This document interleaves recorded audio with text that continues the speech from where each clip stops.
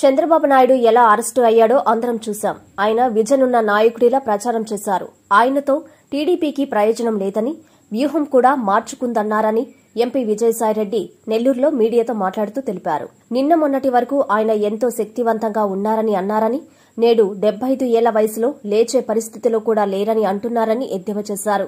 ఇలా అనేక వ్యూహాలతో కొన్ని పత్రికలు ఛానళ్ళు అసత్యాలు ప్రచారం చేస్తున్నారని పేర్కొన్నారు. చంద్రబాబు నిర్దోషి అని వాళ్ళు చెప్పడం లేదని టెక్నికల్ పాయింట్స్ మాత్రమే చెబుతున్నారని తెలియజేశారు. అమిత్ షా ఎంతో ఖాళీగా ఉన్నట్లు ఆయనే లోకేష్ను పిలిపించుకున్నట్లు ట్వీట్లు రాతలు రాస్తున్నారని మండిపడ్డారు. ఒరిజినల్ బీజేపీ వేరని రాష్ట్రంలో పురంధరేశ్వరి బీజేపీ వేరంటూ ఈ సందర్భంగా విజయసాయిరెడ్డి తనదైన శైలిలో పురంధరేశ్వరిపై చురకలంటించారు. అలాగే న్యాయస్థానంలో ప్రభుత్వ అడ్వకేట్లపై దాడి చేయడం చంద్రబాబు చేసిన ప్రసంగం ప్రోద్బలంతోనేనని అర్థమవుతుందన్నారు. గూండాలపై చర్యలు తీసుకోవాలని ఓ పౌరుడిగా వైసీపీ నేతగా కోరుతున్నానని ఈ సందర్భంగా సాయిరెడ్డి కోరారు. రీసెంట్గా జరిగినటువంటి పొలిటికల్ డెవలప్మెంట్స్ తీసుకుంటే మీరు చూస్తూ ఉన్నారు చంద్రబాబు నాయుడు గారి ఎలా అవినీతి కేసులో అరెస్ట్ అయ్యారు అన్నటువంటిది. గతంలో ప్రతి ఒక్కరూ కూడా చెప్పేవాళ్ళు చంద్రబాబు నాయుడు గొప్ప నాయకుడనని చాలా నీతిమంతుడనని ఇన్ఫర్మేషన్ టెక్నాలజీ ఇండియాకి తీసుకొచ్చాడనన్నటువంటిదని ఆ తర్వాత హైదరాబాద్ నిర్మించాడనని అమరావతి నిర్మించాడనని ఈ రకంగా ప్రచారం చేసి ప్రయోజనం లేదనని ఈరోజు టీడీపీ ఒక నిర్ణయానికి వచ్చిందన్నటువంటి విషయం మీరు గమనించగలరు.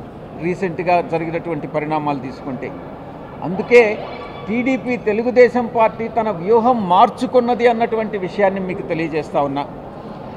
నిన్న మొన్నటి వరకు కూడా ఆయన ఇంత వయసు వచ్చినా కూడా యువకుడిలాగానే ఉన్నాడు.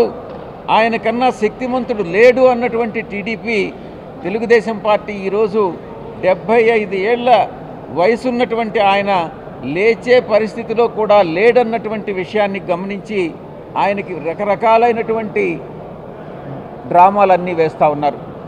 ఆయనకి ఆరోగ్యం బాగలేదనని ఆయనకి స్కిన్ వ్యాధి వచ్చిందనని దురద ఉందనని ఎర్ర మచ్చలు వచ్చాయనని దోమలు కుడుతున్నాయనని ఈ రకంగా మంచినీళ్ళు బాగాలేవనని ఏసీ లేదనని ఈ రకమైనటువంటి ఆరోపణలు చేస్తూ వస్తూ ఉన్నారు. ఇక ఈ వ్యూహం ఈ వేడి నీళ్ళ వ్యూహం అయితేనేమి దోహ దోమల వ్యూహం అయితేనేమి ఈ యొక్క దుద్దుల వ్యూహం అయితేనేమి ఈ యొక్క మంచినీళ్ళ వ్యూహం అయితేనేమి ఏసీల వ్యూహం అయితేనేమి ఈ వ్యూహాలన్నింటినీ కూడా చూపించడానికి కొన్ని పత్రికలు కొన్ని ఛానళ్ళు అరడజను ఛానళ్ళు ఉన్నాయన్నటువంటి విషయం మీకు తెలుసు. చంద్రబాబు నిర్దోషి అని అని కానీ వారి యొక్క ఆర్గ్యుమెంట్స్లో ఎక్కడా కూడా నిర్దోషి అని వాళ్ళు చెప్పట్లేదు. టెక్నికల్ గ్రౌండ్స్ మీదనే ఆర్గ్యూ చేస్తూ ఉన్నారు. విచారణకు నిలబెడతాం. ఏ శిక్ష వేసినా కూడా కోర్టులు దోషిగా నిర్ధారించి ఏ శిక్ష వేసినా కూడా మేము దానికి ముందుంటామన్నటువంటి విషయం ఎక్కడా చెప్పట్లేదు. ఈరోజు రాష్ట్ర కేంద్ర బీజేపీ వారిని నేను అడుగుతా ఉన్నా. అమిత్ షా గారు ఆయన ఏదో చాలా ఖాళీగా ఉన్నట్టు సమయం చాలా ఎక్కువ ఉన్నట్టు ఆయనే లోకేష్ లోకేష్ని అపాయింట్మెంట్ ఇచ్చి ఆయనే పిలిపించుకున్నట్టుగా లోకేష్ చాలా చెప్పుకుంటా వస్తూ ఉన్నాడు ట్వీట్ కూడా చేశాడు. మరి లోకేష్ చెప్పే దాంట్లో వాస్తవం ఎంత అన్నటువంటి విషయాన్ని గమనించాలి. లేకుంటే ఒరిజినల్గా బీజేపీ చెప్పేది ఒరిజినల్ బీజేపీ. నేను ఇక్కడ రెండు డిఫరెన్షియేట్ చేస్తూ ఉన్నా. ఒరిజినల్ బీజేపీ ఇక్కడ రాష్ట్ర బీజేపీ ఆంధ్ర రాష్ట్ర బీజేపీ పురంధరేశ్వరి గారి ఆధ్వర్యంలో ఉన్నటువంటి బీజేపీ.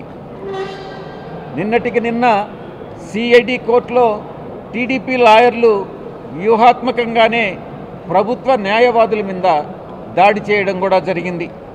ఈ అంశం మీద సమగ్రమైనటువంటి న్యాయ విచారణ చేయాలి అన్నటువంటి విషయాన్ని నేను డిమాండ్ చేస్తా ఉన్నా. చంద్రబాబు నాయుడు గారి సీనియర్ అడ్వకేట్ సిద్ధార్థ లూత్రా చెప్పారు. ఏం చెప్పారు? మాటల్లో గెలవలేనప్పుడు మాట్లాడి ఆర్గ్యుమెంట్స్లో గెలవలేనప్పుడు కత్తులు కటార్లు పట్టుకోండి అనని ఆయన అడ్వకేటే స్వయంగా చెప్తా ఉన్నాడు. న్యాయస్థానంలో ఇంప్లిమెంట్ చేసి ఇవి అదే రి- ప్రభుత్వ అడ్వకేట్స్ మీద దాడి చేయడం అన్నటువంటిది ఆయన మాటల్ని అమలు చేసినట్టుగా తెలుస్తూ ఉంది. కాబట్టి లాయర్ల చేత కానీ గూండాలను కోర్టులో అడుగు పెట్టనివ్వచ్చానని ప్రశ్నిస్తూ ఉన్నాను.